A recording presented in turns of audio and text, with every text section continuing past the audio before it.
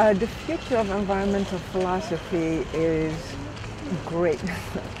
uh, there is a lot of possibilities for philosophers to contribute to complex debates uh, about uh, the control of nature, the decontrol, the lack of control of nature. Um, by definition, um, I like your question, what is the future of environmental philosophy? Because it's a future beyond environmental ethics.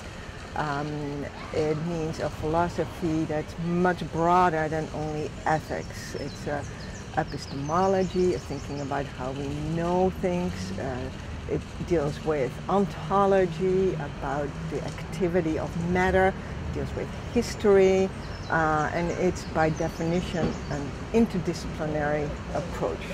So I see a lot of future, especially given the conditions of the 21st century of the state of nature. Uh, and we deal with the question of the Anthropocene in our next question, but that itself uh, necessitates a complex um, uh, intertwinement of very different, not just disciplines, academic disciplines, but also an inter-institutional approach, an approach to deal with environmental questions with all kinds of agencies, with all kinds of constituencies, with all kinds of practices, different places in the world, different peoples, different cultures. Um, and philosophy can bring a lot of um, content to these debates, uh, to this kind of uh, complexity of interdisciplinary um, contribution of the humanities. Um, so I see environmental philosophy as part of environmental humanities, environmental studies, um, and that part of a larger institutional necessity of uh, collaboration with all kinds of agencies within democracy, within our society, within natural uh, uh, practices, etc. So I see it as a very, very um, important contribution and growing contribution.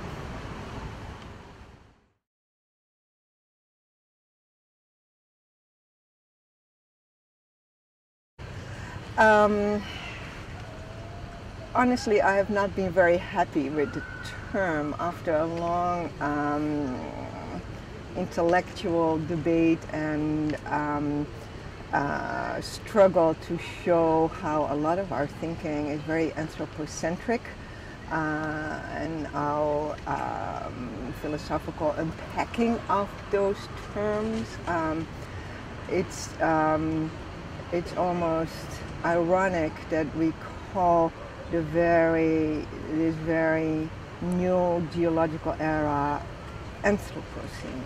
Um, I would have uh, preferred uh, a term that um, um, that explicates more of a contribution of humanity to geological changes. So something like a Symposium, uh, Sim being the um, the term for with like symphony, uh, sympathy, uh, the cum, the cum of community, of connectivity. Um, and in combination with the previous question, I think philosophy uh, really tries to think this reconnecting to our material world. Um, however, uh, the cat is out of the bag, the toothpaste is out of the tube, and so here is the term Anthropocene. What it does do is that it shows the, um, uh, the inevitable situation of a new thinking uh, that complexifies a simple narrative of modernity. Uh, a modernity narrative uh, based upon the enlightenment of humanity, uh, controlling nature through reason, and the, that kind of um, universal narrative is being, which is a narrative also of freedom, uh, that is now qualified and questioned by the notion of the Anthropocene. Um, and that's an important contribution to question that narrative. However, uh, as soon as we um, unpack these notions, we have to be very specific about which part of humanity we are talking about. And so the whole divergence, which is, I think, the main problem of our time between rich and poor, um, becomes obfuscated when we talk about uh, the Anthropocene, which is an, basically the way that Crutzen and um, uh, a chemist and, and um, uh, a marine scientist, framed the debate is a, a notion of human species. Well, that kind of obfuscate the fact that there are men and women that are very poor, very rich people. Um, uh, it obfuscates the, um, uh, the contribution of industrialization, of capitalism. Uh, and so all these ingredients have to be unpacked in this soup of Anthropocene. Um, there are a lot of, of, articles that are already unpacking that uh, those contributions in the debate, and um, especially an article by Chakrabarty in uh, I think 2009 Critical Inquiry. Uh, he lays out nicely four different hypotheses, four different theses. Um, uh, Donna Haraway has a very nice piece uh, or talk about the Anthropocene in which she shows that it maybe it should have been called Capitalocene or um, I think she uses the term Chthulucene, which uh, is inkfish, or how do you call it, uh, octopus, uh, which I think is a very important contribution, which I which relates to what I was just talking about, about the necessity of the particularities that need to be unpacked in this notion. Um, so at one level, we do face up to um, a situation of humanity that is um, in a new situation of a profound global change. Um, but at the same time, we need to uh, it's not a Hegelian universal. It's not that that subsumes the particularities of um, the specificities of particular people or other entities uh, in time and space. On the contrary, we need to emphasize the specificities and, and find other kind of connectivities. Um, uh, that's what in my own philosophy I call the importance of this connecting, this reconnecting uh, philosophy actually as uh, a permanent um, focus on the capacity of transitioning, of finding new connections, new sympathies, new symposies in that sense. Um, so a collaborative way between very different kinds of cultures, uh, including material cultures. Um, uh, so if we are able to um, uh, to qualify the differentiations and divergencies within the notion of the Anthropocene, it is fine, and it does put on the map the importance of um, the trajectory of industrialization and its limits towards the whole discourse of rationality and freedom and control of nature. And uh, that, that's a good thing that, that's been put on the map. But now we need to unpack the notion and show its uh, complexities and its um, intrinsic contradictions, and specifically uh, uh the different contributions of different um, cultures, of different um, uh, institutional structures um, and who is benefiting and who is suffering the most, uh, even if the whole planet in the most catastrophic um, uh, scenario, which I don't know if we need to think already in that way, and as such, the whole um, setup of Anthropocene is a discourse of catastrophe, uh, that we are reaching our limit. Uh, but I think that that is something that we still have to see. I think there are much more um, exciting connections, which actually Donna Haraway talks about, uh, kind of possibilities of new strings of connections that mitigate, um, etc.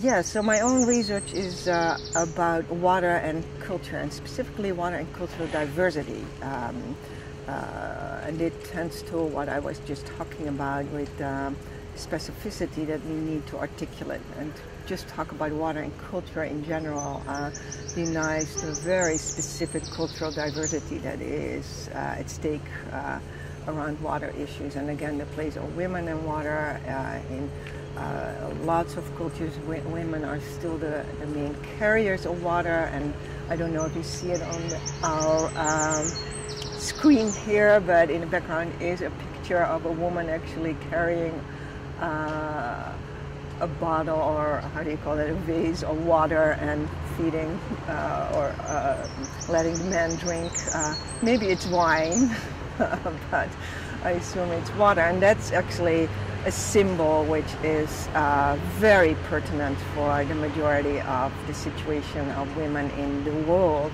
that are the main carriers of water. And so bringing it back actually to the question of global warming uh, that's implied in the, in the Anthropocene situation, that has a major effect on uh, specifically young girls because it means that they have to spend uh, most of the time, actually days of their life carrying water, bringing water back and forth from the rivers, from the sources to their families. And so that means no education, no possibility of other uh, development of other skills, etc.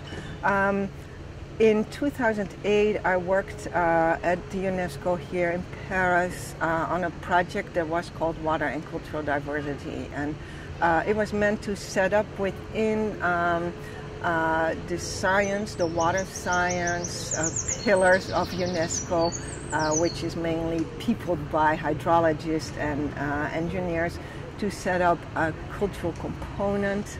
Um, it was a very interesting project. It culminated in a book that's called Water and Cultural Diversity, and um, uh, which is accessible free online. A beautiful book with multiple contributions from all over the world about the specificity of people working, uh, or people and their culture around water and their practices around water and their legal situations uh, and so forth around water.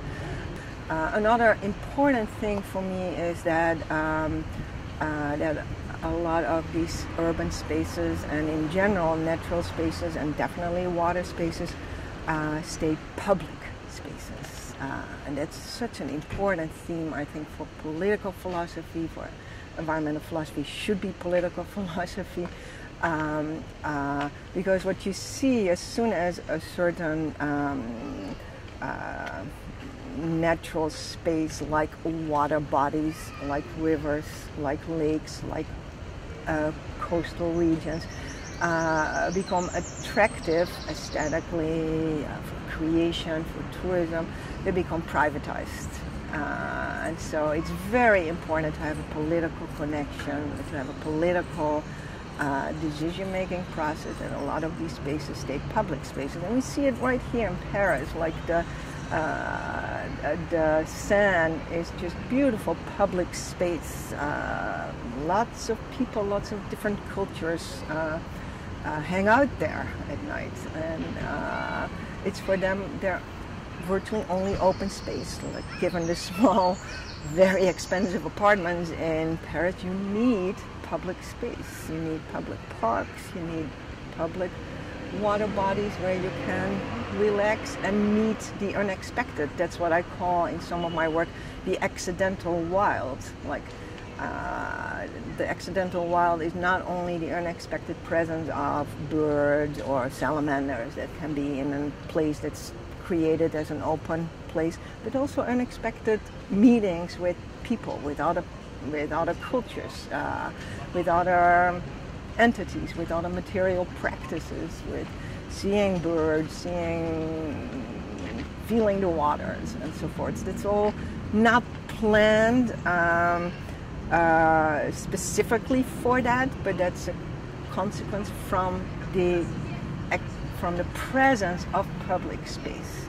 Um, sometimes parks are planned for that reason, uh, but I think a lot of, uh, and that, that's another kind of theme in my work, a lot of definitely infrastructural space is first and for all planned for uh, definitely on water, uh, on, the, on the level of water infrastructure for dealing with floodwaters or drinking waters, but we can plan them in a way that they at the same time provide some kind of public space. So I'm thinking of uh, flood control structures, and uh, there's a lot of um, interest in that to design them in a way that they are at the same time a park and not just a concrete ditch. they can be designed in a way that they are uh, affording open and public space. Uh, and so it's, it's one of the examples of that, what I call Symposcene, in which we actually can deal with a lot of our necessities. Uh, we need, as human, as, as uh, an urban population, we need safe drinking water. It's a big issue. We saw that in Detroit. Uh, we need also safety against floods and so forth. So we need very, very good infrastructure. That's a that's a, a sine qua non. Uh, but how do we design those infrastructural entities? There's a lot, a lot of rethinking possible. Um, I'm also thinking of like redesigning, say, the, the large infrastructural features like uh, uh, the wastewater treatment plants. Uh, right now, they are usually like huge plants. We could design smaller units uh, so people are more aware of when you flush a toilet, it doesn't just go into the universe. No, it goes to the plant It's like a couple of streets further, and it can be designed with a little bit more um, uh, bio-natural features. Um, so there's an, an, an, awareness raising, which is an, a playful way of an awareness raising. It's like where you also can actually see birds and uh, uh, of course it requires space and it's often not, not available in big cities but there's a lot of um, there's a lot of creative possibilities there. And that's so I see environmental philosophy also um, in an interactive uh, connectivity with say uh, architects uh, or uh, including um, uh, landscape architects. Uh, environmental philosophers can contribute to that discourse and so the interdisciplinarity is not only with other humanities or with the eco ecological sciences, but also with the, the public space designers, uh, like landscape architects or the the uh, architectural buildings. How do we design our buildings? Um, how do we deal with the, the water that comes from the buildings? Uh, how can we capture that? Uh, many, many fascinating and exciting possibilities of rethinking, reconnecting um, through water management, but that management can, is not just a controlling of that water, but also an uh, what I call um, a decontrolling, of course, with the safety first, but then more playful possibilities of creating space with that flood water. And, um, uh, and so I see a lot of fruitful possibilities and territory in these kind of interconnectivities and uh, what I call accidental wildness um, as a possibility of um, uncontrolling some of our controlling activities by giving place to certain processes to develop which will create an accidental wild of natural entities including accidental cultural wildness.